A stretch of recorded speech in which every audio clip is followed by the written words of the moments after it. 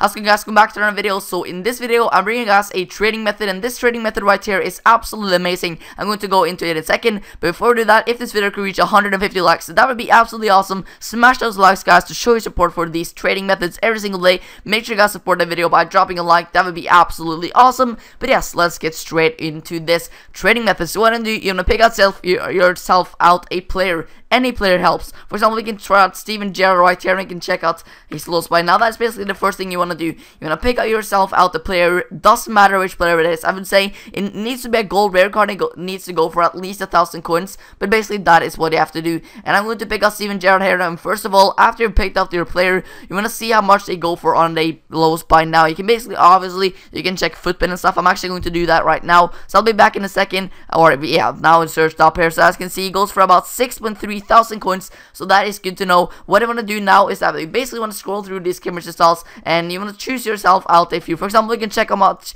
uh, Gerrard actually goes for in a marksman. You want to turn this up a little bit more. As you can see here, for example, the cheapest one now is 6.6 thousand coins. I'm gonna go a little bit further up, and as you can see, it's still 6.6 thousand coins. I'm gonna go a little bit more further up, and as you can see, it's still 6.6 thousand coins. It's the cheapest on the market. And as you can see, now there's two. For example, this one for 7,700, and this one for 6,700 or 600 and 600. So basically, what I can do now is that I can basically uh, sell him on for 7,500 and make some really good coins on him right there. This is just a method that really works out well. For example, we're going to do this one more time if you didn't understand it already. For example, you can go, for example, you can go Powerhouse. And let's see how much Gerrard actually goes for. As you can see, now there's quite a bit of him, so probably not do Powerhouse. Um, probably do Deadeye. We can try out Deadeye. Uh, and as you can see, the cheapest now is 6.6k. I'm going to turn up the price a little bit more uh, until you can find more. So as you can see, the cheap, cheapest after 6.6 is around 7,100 coins. So Deadeye's not going to be a deal there. But you can basically scroll through the midfielder and even the striker chemistry styles works really well with Steven Gerrard.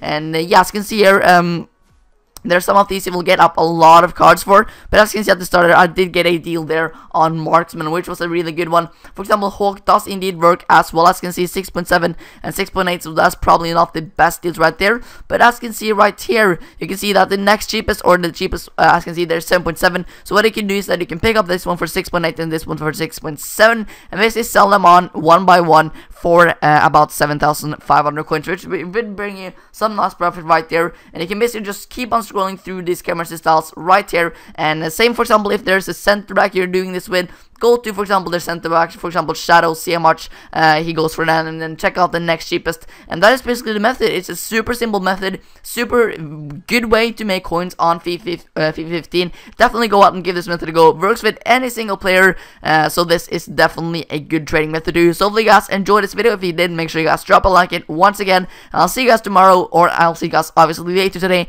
with a few more videos. Goodbye, guys.